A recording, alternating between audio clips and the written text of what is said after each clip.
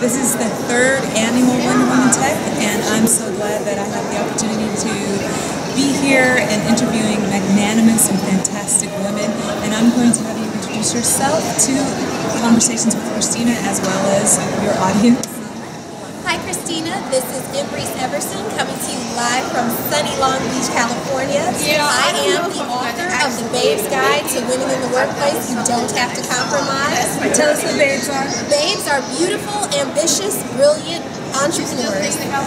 Wonderful, wonderful, Which wonderful. for all of you out there listening. Exactly. All of us are wonderful entrepreneurs, and today we have the opportunity to talk about how you win. And we have her book, which is fantastic. It is Winning.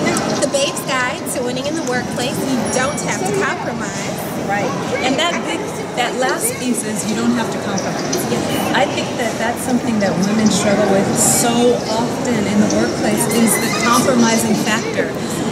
Being in technology, and we are at a technology event. It has been reported that there are so many egregious acts that happen on, in the workplace that women don't even report because number one, we're underrepresented. Number two, I don't know about you, but I am a woman of color, and sometimes women of color, it's just hard for us to even uh, ascend. So we don't even, when things happen to us, we don't even want to talk about that. So does your book address of Not only that, not, not only the being afraid to ascend, but unfortunately, there's very few places where an African American or woman of color can go and show that she's been violated and she's been harmed that she's believed. The credibility factor is often lacking. So sometimes you have women who are, you know, European women and they say, oh, you know, I, I work for Fox and I was harassed by Bill O'Reilly. I need a lawsuit. And there's an audience, there's a platform for their pain. But oftentimes we don't find as African American women that we're valued enough in this society that there's even a platform for our pain. Wow, wow. And that's serious because there's so many acts, again, that go unreported, number one, that happened the exact way that you said, and there's nowhere to turn. So even if we tried to report it, one of the other things that I noticed here is she is an Esquire. She didn't put lawyer, guys. She put Esquire.